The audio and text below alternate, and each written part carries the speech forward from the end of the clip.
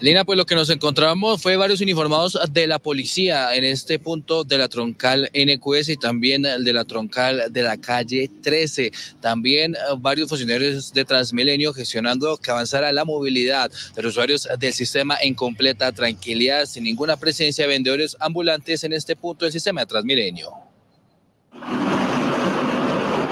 Así amaneció el túnel de la estación de Transmilenio Ricaurte tras las protestas que ocuparon este importante punto de la movilidad en Bogotá, en medio de las intervenciones de las autoridades en busca de recuperar el espacio público. Panorama que también sintió la ciudadanía que diariamente usa este tramo del sistema para llegar a sus destinos.